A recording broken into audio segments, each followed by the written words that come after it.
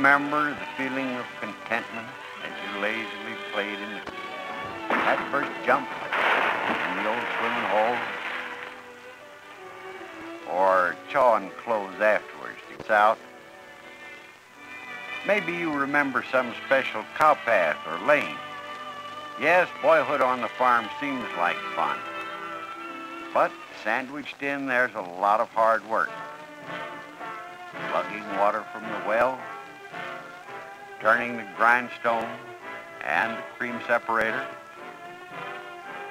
A little hand milking doesn't seem so bad now.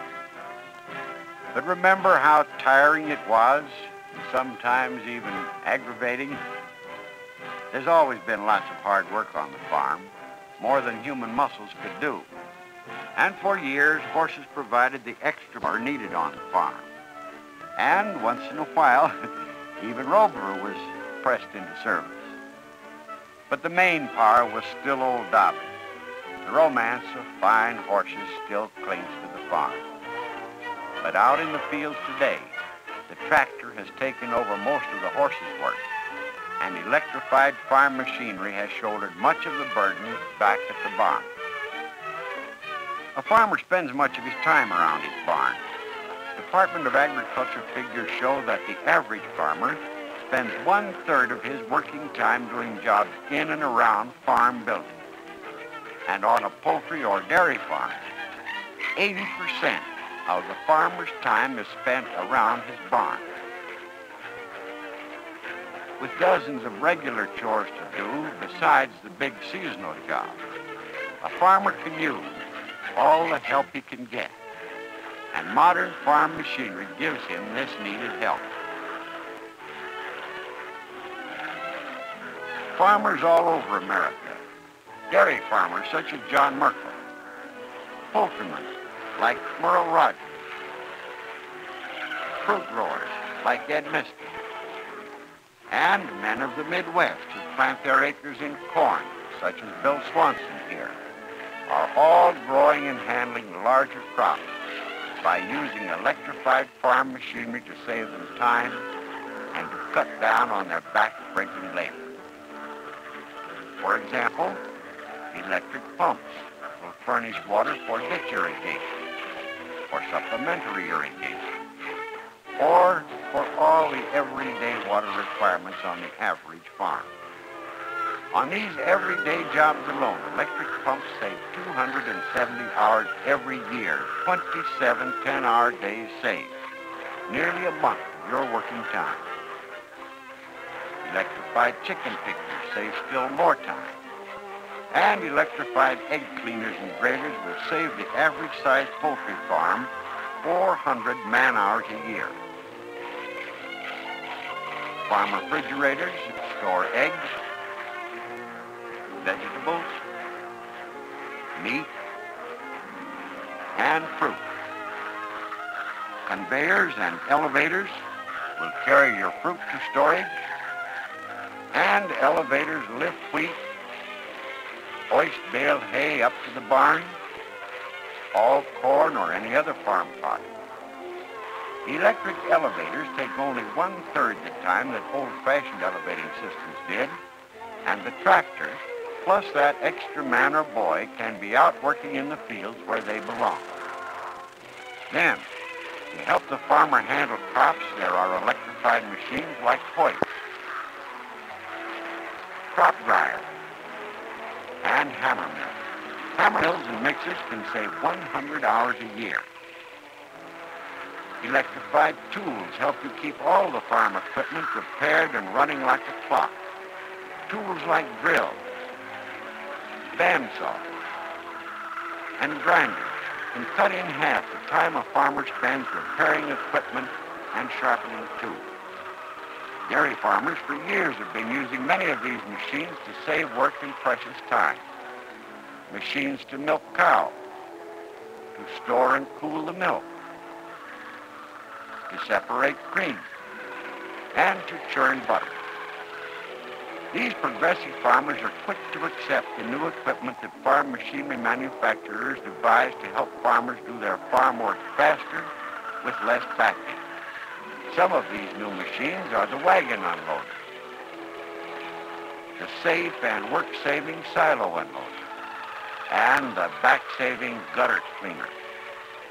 Let's visit one dairy farmer who uses many electrified machines as his hired hand, John Merkel.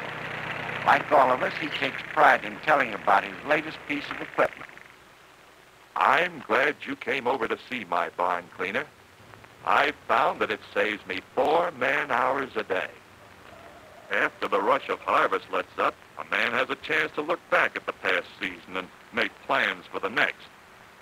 Last fall, while my back was still aching from getting the crops in, I came out to the barn one morning and started to shovel out the gutters.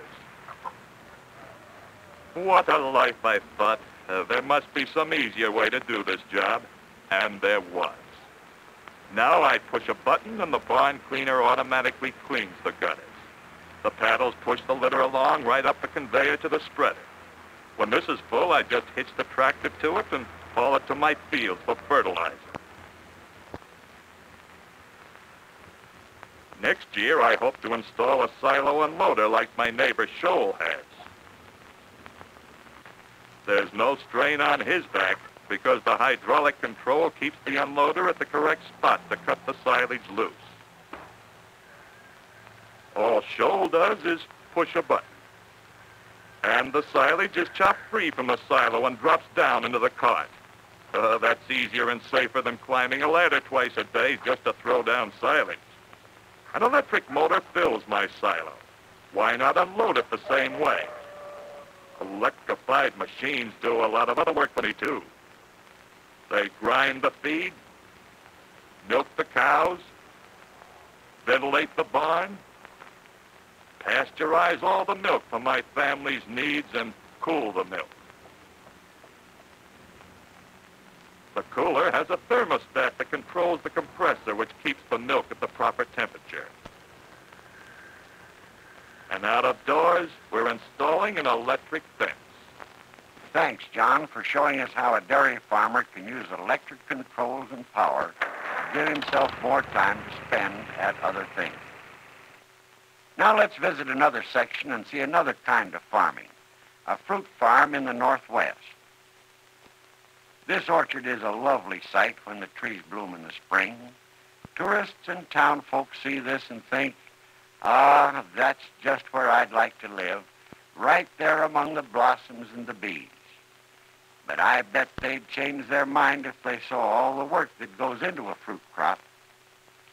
That's Ed Miskey, and he'll have 100,000 boxes of fruit to pick, wash, sort, pack, and store this fall.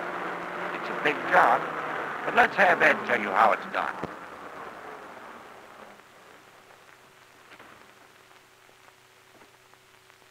We'd never get it done in time if we didn't use machines. Packing fruit has always been hard work, and today you just can't get enough men to do all this work. So fruit packing sheds are regular factories. In the good old days, you'd never see a production line of fruit. Farmers sold them just as they came from the tree. It was up to the customer to grade and wash them if he wished, but you just couldn't sell one in this condition today. Electricity is the only economical answer to a farmer's packing problem. Electric brushes and jets of water wash all traces of spray from the fruit. Then an automatic dunking in the rinse bath and the fruit is ready to move to the dryers and sorting table. My apples are really polished now, and I bet there isn't a school teacher in the land who wouldn't like to have one decorating her desk, if they pass the hazard of a hungry boy and get that far. Farmers growing all types of fruit have found out that the old method of sorting, grading is too costly, so they've electrified. With my system, for example, I can do my packing in a hurry and at low cost. In case of any jam or pileup that might bruise the fruit, the electric control stops the line immediately. Then, after a few seconds to clear the jam, a push of the control button will start the line again. All these clean and graded beauties are now hand-wrapped, so they'll keep longer and look better and fetch the highest price. 270 boxes of fruit roll along this line every hour. Without electricity, I'd be able to pack less than half as much. Conveyors carry the boxes to the nailing machine where the box tops go on, and then the conveyors take over again. 15,000 boxes of my fruit go into my own farm cooler every year. Electricity for cold storage costs me $300 a year. So for two cents per box, I get the insurance of cold storage right on my own farm. I just couldn't get all this work done if my power supplier didn't furnish me reliable electric power on tap all the time. That's right. All over the country, the many power suppliers are furnishing the same reliable service to all farmers. It is equally true here in this eastern country where we visit a poultry farm. This is Merle Rogers Poultry Farm. The birds are pedigreed prize winners and profitable egg producers. Merle believes in starting with fundamentals, and his first concern is his water supply. Let's ask him. I believe that a good water system pays off. It ensures healthy chicks and plenty of eggs. On the range or in my hen houses, electricity gives me that steady supply so my birds grow fat and healthy. A good ventilation system helps keep them that way. Electricity helps out with every step of the chicken's development. In the beginning, in the incubator, electricity supplies the heat and ventilation to raise a beauty like this. Then an electric brooder takes over. These chicks will grow to be vigorous, healthy birds, and that means big egg producers. But to further increase egg production, my electric control system flicks the lights on at night, so my hens lay day and night. My flock not only produces big eggs, but lots of them. and An electric egg washer helps me clean my eggs safely, and in one hour I can clean and grade a hundred dozen. It formerly took eight hours to do these jobs by hand. And immediately the eggs go to the cooler to keep them farm fresh. But there are still some things that never change, when I need a chicken for the stew pot, I still have to catch her by hand. But then the modern picking machine takes over, and the bird is plucked in a blizzard of feathers. Electrified machines have proved to be my best hired hands. This electric litter stirrer is my newest one. And the other day I was looking at still another, an automatic poultry feeder. I believe that I could use one because it would give me more time for other work. All you do is fill the hopper with feed, and the automatic drive takes over. The chain carries the feed out to the house. There's no pile-up on the corners. The feed moves along smoothly and easily. And every bird in the house gets his full share. Not only is every bird well fed, but this steady feeding helps fatten them faster. This electric feeder works just as well out on the range, and the dinner bell rings whenever the birds are hungry. The farmer must keep abreast of all new equipment if he wants a better living. That's right, Merle. And in electrified farm machinery, there's always something new under the sun. Progressive farmers continually look for these newer ways of doing old jobs better. But all the machines are not used for farm chores alone. Electrified tools such as power saws, paint sprayers, concrete mixers, and the like help build and repair buildings at lower cost and with less waste. Let's visit a good farm workshop and introduce a young farmer in the corn country, Bill Swanson. I'm glad you could come and take a look at my workshop. I'm proud of it. It's about as complete as any in this area. Machines help me raise my cattle, hogs, and corn. And my tools here keep these machines in tip-top shape. Whether it's a chisel to be sharpened, intricate work on the bandsaw, or drilling holes. All these machines save me time on my repair job. It doesn't matter whether the job is large or small, my shop is set up to handle all of them, and in a hurry. When I need them, I even have a lathe and welder ready to go to work. It's hard to imagine how the old-timers ever farmed their land without modern machinery. As for me, I'm going to use all the help I can get, and that means electrified machines. Take this load of corn. How'd you like to unload it by hand? Well, you wouldn't have to unload corn or any other product by hand today. This unloader will do it for you. Then the elevator does all the lifting. Elevators have cured more farmers' backaches than all the liniment ever sold.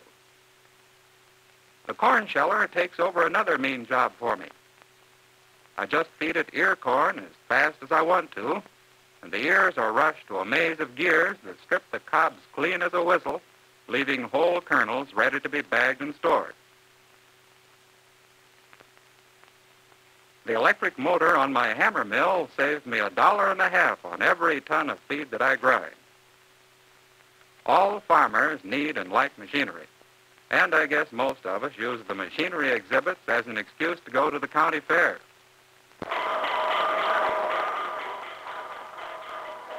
As always, the fair was as much fun as the circus. The whole community takes out a carnival atmosphere. Youngsters stuff themselves with forbidden sweets. Older folks try for trinkets they don't need. And there's a ride for everybody. Colorful merry-go-rounds, shiny new speedboats, and racing cars for the kids. And for the teenage crowd, there's the whip. Everybody piles up in front of the sideshows, so the midway is always crowded as the barkers describe wonders you can't afford to miss. These sideshows have something going every minute, and the kids, young and old, are held spellbound. The show from the grandstand pleases everybody. Trotting races, a real honest-to-goodness Wild West rodeo, and the annual parade of prize cattle and stock.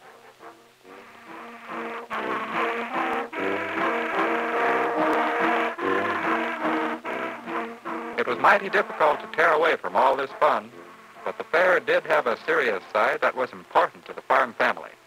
So we left the amusement area, and the women went to see the home exhibits while we men headed for the operating demonstrations of crop handling machines. The fanning mill demonstration was the first one we saw. The seeds are dumped into the hopper of this cleaner and grader, and all the chaff and dirt is blown away. Only the correct size seed passes through the screens and falls into the pails. For a farmer who uses his own seed, this cleaner and grader is a far cry from the fanning mill you cranked as a boy. For the needs of my farm, however, the crop dryer demonstration was even more valuable. Here was a machine that could save me days in drying my crops for storage and preserve that quality.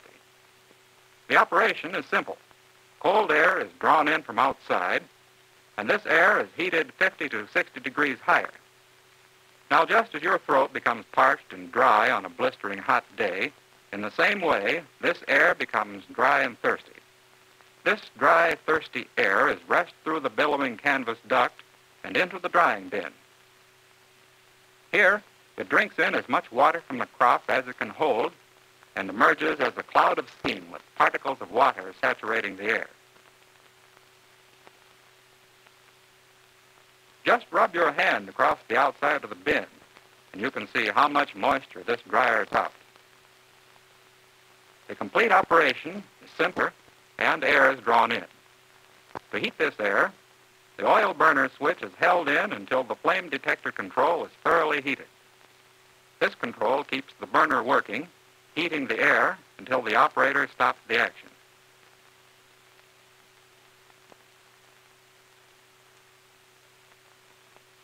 After seeing this demonstration, I knew that I needed a crop dryer, so next day I did something about it. I went to see my farm equipment dealer. He's a live wire and always has a complete line of new equipment in stock. Just a glance around, and I could see field equipment of all kinds, as well as silo unloaders, barn cleaners, seed cleaners, and hammer mills. Our farm dealer is not a high-pressure salesman by any means. He's smart. He makes a study of our needs and problems, and he's interested in seeing that we get machinery that will save us money, time, and labor. That way he keeps us as steady customers. He realizes that farmers are businessmen who want to produce as much as possible at the lowest cost. That's why I was interested in the crop dryer, because I thought it would save time and crops. And that's money to any farmer. His dryer was similar to the one demonstrated at the fair. The dealer pointed out how well built it was, how it was fashioned for long economical operation, and all the parts were of the best material. And in addition, he could guarantee that the electric motor would never be out of service just when I needed it most. With the motor exchange plan, I just bring my damaged motor in and get a factory rebuilt motor as an exchange. The slight charge for service is cheap insurance against costly delays. You can put it down in the book that I am sold on electrified farm machinery. Always remember, Bill, that the manufacturers of farm machinery are constantly building more and better products that will save even more time and labor for the farmer. Their plant's production lines carry more and more of your work by placing electric motors and controls at your service in machines that will help you as hired hands, dependable, knowing hired hands, on the job and ready to work whenever you want them. The constant strides towards better machinery by farm machinery manufacturers have resulted in these new machines. The barn cleaner, the wagon unloader, the seed cleaner, the crop dryer, and the silo unloader. Moreover, the design engineers of the farm machinery manufacturers have new designs and machines on their drawing tables today. And tomorrow, these designs will go to the production lines of their factory, where skilled workmen will assemble the strong, dirty parts to give you still another machine that will save you work, save you money, and give you more free time. Time to do jobs. Time you can spend seeing friends or getting better acquainted with your family extra time, when you might even sneak away with the boy and head down to the lake.